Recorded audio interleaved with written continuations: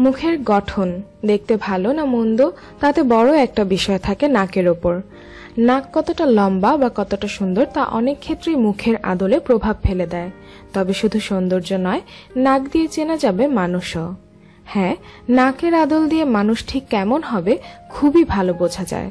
এক নজরে দেখে নেওয়া যাক, নাক দিয়ে কীভাবে বোঝা যায় বিভিন্ন ধরনের মহিলাদের মানসিকতা।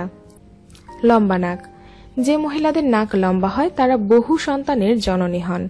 এই ধরনের মহিলারা খুবই অভিমানী এবং রাগী মানুষ হন। মোটা নাক।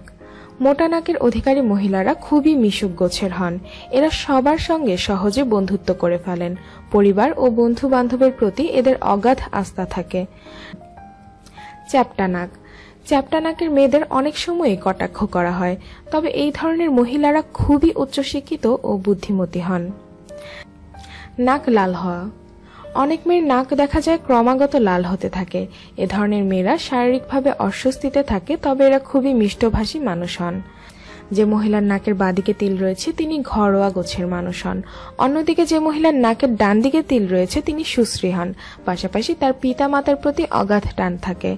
নাকের সামনে তিল থাকলে সেই মহিলা ধনী হন। নাকের ছিদ্র বড়।